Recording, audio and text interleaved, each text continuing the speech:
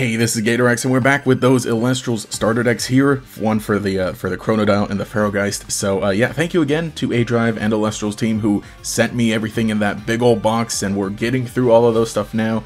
Uh, if you'd like to see everything else, so actually I think there's just you know what the two big old booster boxes uh, left. But uh, let's go ahead and talk about these starter decks because uh, I'm actually really excited for them. Really interested. I've got a lot to say. So here we are with that plastic off. Let's go ahead and get into these now. Um, I did open up the Frostfall decks in a video, but I didn't get a chance to, you know, get to editing that and uh, talking about that. But uh, so let's go ahead and just reiterate a few things here. So each uh, starter deck nowadays, uh, they cost uh, 25 instead of 20 before, but I think that the changes that they made, including three booster packs, was a much better choice. I assume that they probably had some troubles getting the cost down uh, to be much lower. So instead of, you know, dropping below 20 in any way, uh, they just added in three booster packs, which are, you know, pretty easy to produce because they're already producing a bunch. So it makes it a lot more of a fairer price because, you know, you figure three booster packs being about five bucks each, that's already 15 uh, bucks off that, uh, you know, or 15 bucks added to your value. So that is cool there. So uh, yeah, you're going to get your three packs there, going to get your special die, which is, uh, you know, they change up every so often. This one is the new one for Solar, so looks really nice and it matches. And of course you get your deck and a rulebook as well. And uh, this box, I guess you could use that for storage, but uh, rulebook's great. There's the um, there's the deck. Let's go ahead and uh, get out the Pharogeist one, which is going to be basically the same deal going to be the exact same die. We already looked at that. It's going to be your three packs in there. We'll set those to the side and open those at the end.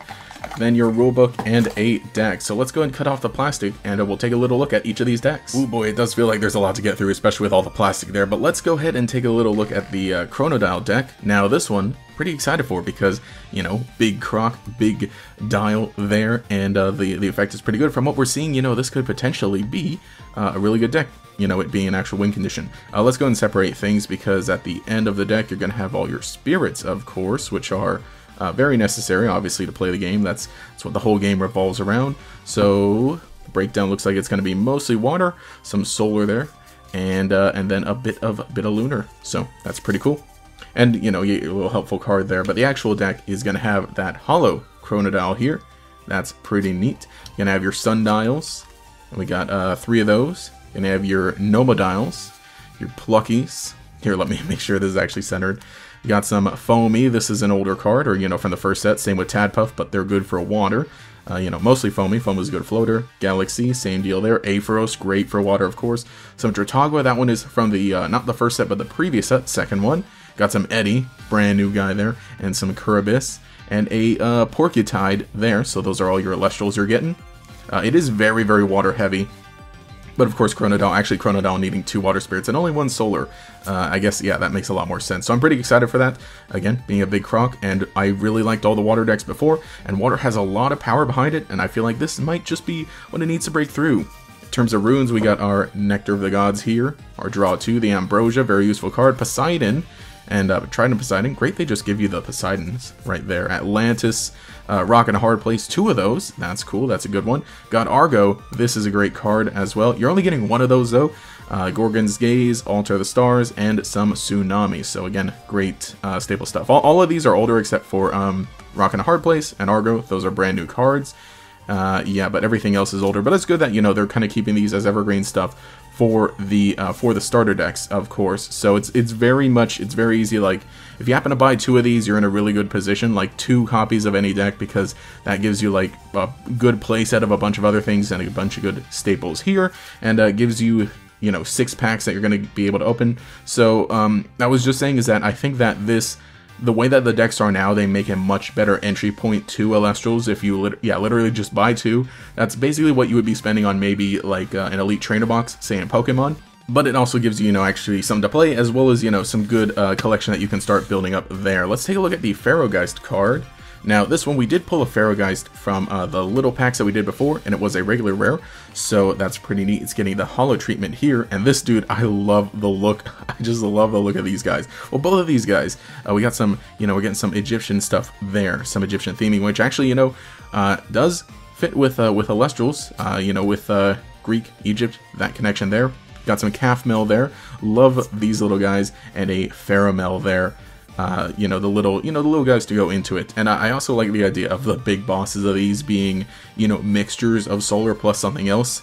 Uh, gosh, I just love the purple look on these. I can't wait till we get more, even more lunar cards. So we got some uh, Dratara, Lumaru, uh, Pegleam, Soulbell, Soulstox, uh, Corvishine, Plucky, uh, Crip. All right, all right.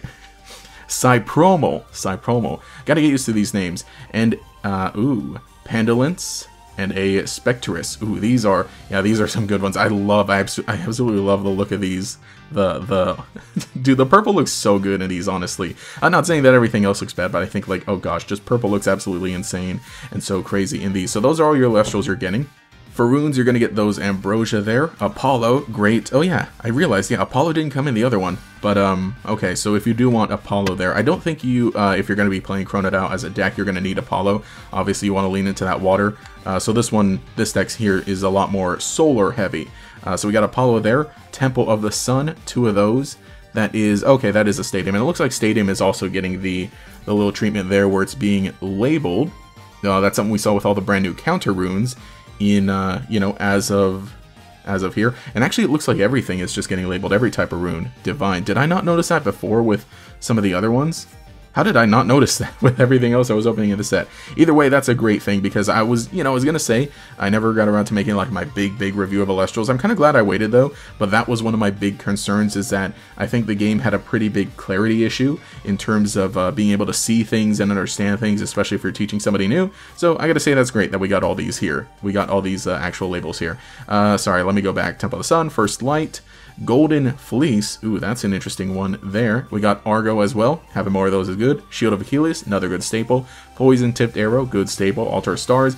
Dense Fog, that is another one of the new cards here. Uh, again, for Lunar, and uh, that's some good that's some good suppression there. And I forgot to separate all these, but these are all your spirits. Looks like it's going to be mostly Solar, mostly Illuminate, and then some Owloon there in the back. So let's go ahead and move on to those actual packs that are included here. Again, you're going to be getting three per starter deck, so opening both of these, we got six to look at here. But again, I think that's a great idea to uh, just kind of like help fill these things out and kind of, uh, you know, really make the cost work out a lot better. So let's get to these first pack here.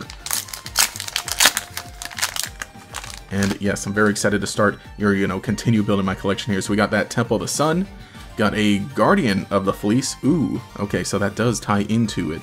Uh, that's pretty neat. I really do need to read all of these, give these all a good read. Bloom, Don't Poke the Bear, Follow the Wisps, Soulstox, uh, Pharamel, yep, that's one of the guys we saw there. Uh, Barabog, the rare is going to be a Heliolith. Ooh, ooh boy. Uh, yeah, and you know, I'm, I'm realizing this now. Uh, I'm, I'm real okay hopefully now you'll see the little sparkle effects in here because I, for, I realized I forgot to add those in my in my opening of the other thing but hopefully we'll have them here. Heliolith that is pretty cool having uh you know now we have more of the the big golems there uh, for you know for all the other elements. Again I gotta read all these but uh, from what I know these guys are all pretty good and useful there or at least you know they try to be. Next pack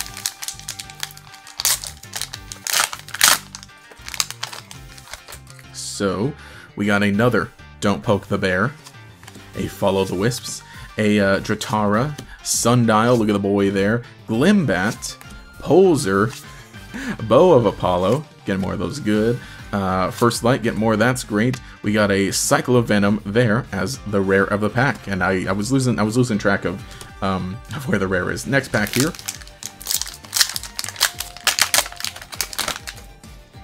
So we got a Corvishine, Plucky, pa uh, Mudlet, uh, Boltuga. Okay, okay.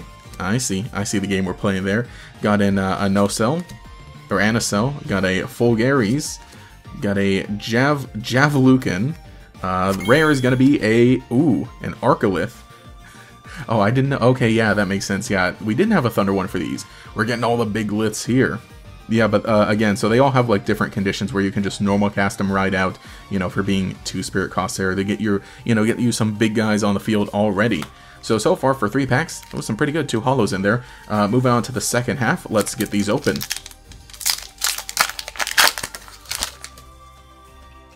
So in here we got a Toxiswarm, a, okay, a Rhynymph, uh, Temple of the Sun, Guardian of the Fleece, Bloom, uh, okay, skin. Okay, Scavacole. Scavacole. Okay. Sorry, I gotta get used to all these new names. Humbust, Porcutide, and an, an Exaltus for the rare of the pack. Ooh, that is pretty nice. We get more get more of these guys. Uh, next pack.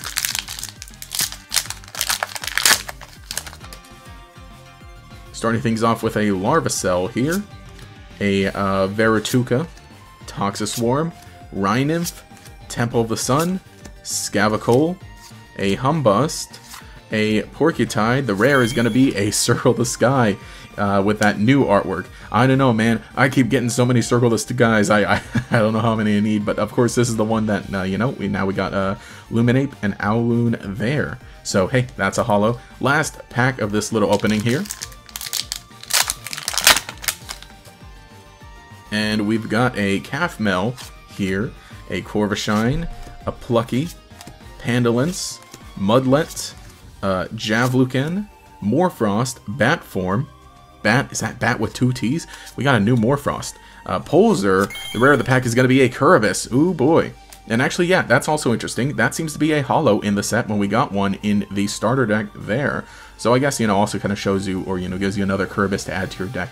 Neato. Neato, but hey, those are pretty good ratios for uh, four hollows in three packs. Hopefully, you know, that carries over in other things, but or maybe maybe I just got some good luck this time around. But yeah, those are my pulls. Either way, this is my thoughts on the starter decks here. Like I said, I think they're a much better deal than before, uh, especially, you know, with the, I'll admit it, with the base set, I think there were just too many starter decks. I understand that, yeah, you had to, um, you had to get all the elements out and you really wanted to get all the elements out, because uh, you're starting the game with five elements. However, I feel like that was a bit much, and especially at that price tag, uh, they were uh, they were a pretty hard sell. However, nowadays I think that it's a lot better. Is that you know you can just tell anybody, uh, hey, you got 50 bucks, just buy two of the same starter deck. You're going to get something really good and playable, and you're going to get uh, six packs in there to start building a collection.